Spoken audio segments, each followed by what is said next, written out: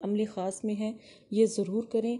जिनके प्यारे उनसे रूठ चुके हैं, मोहब्बत में, जिसे कहते हैं ना, किसी को अपनी इतनी ज़्यादा पागल कर देना, इतना ज़्यादा तड़पा देना, कि वो मछली की तरह तड़पे। जब मछली को पानी ना मिले तो मछली तड़पती है।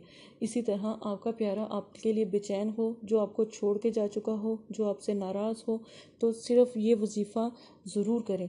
ये वजीफ़ा सात सौ छियासी मरतबा आपने पढ़ना है। बिसमिल्ला शरीफ पढ़नी है। अब पढ़ते वक्त आप तस्वुर अपने प्यारे का रखें या तस्वीर के ऊपर आप दम कर सकते हैं। तस्वीर के ऊपर आखिर में सात सौ छियासी मरतबा बिस्मिल्लाह पढ़ के तो आप दम कर सकते हैं।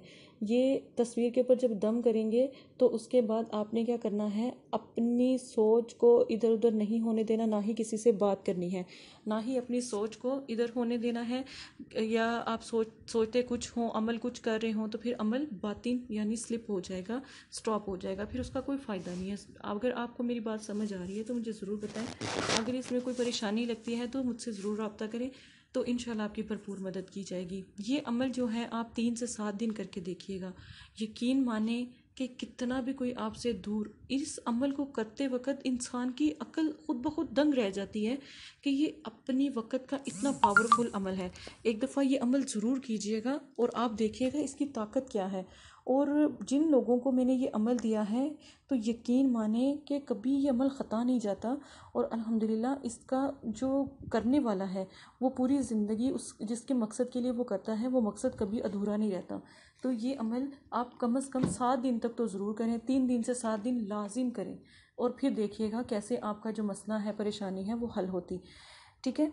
आपने बिस्मिल्लाह सात सौ छियासी मरतबा पढ़नी है, दुआ करनी है तस्वुर में ला के उसके तस्वीर पे भी, मोबाइल पे तस्वीर होती है, उसके ऊपर भी आप दम करें उतना ही असर है। लेकिन यह है कि आप उसका तस्वीर को थोड़ी देर देख लें और फिर तस्वुर बनाएँ तो फिर आप ये अमल करें, यकीन मानें कि इतना अमल ताकतवर मैंने आज तक कभी नहीं दिया जितने लोगों को मैंने ये अमल दिया है तो अल्हम्दुलिल्लाह अल्लाह के हुक्म से उतनी ही कामयाबी मिली है। कभी इस अमल से नाकामी किसी को भी नहीं हुई।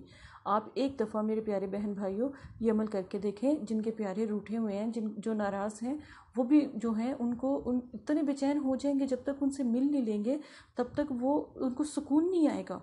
आप एक दफ़ा ये ज़रूर अमल कीजिएगा। इसी के साथ अपनी इस बहन को इजाज़त दें। जजाकल्ला खैरा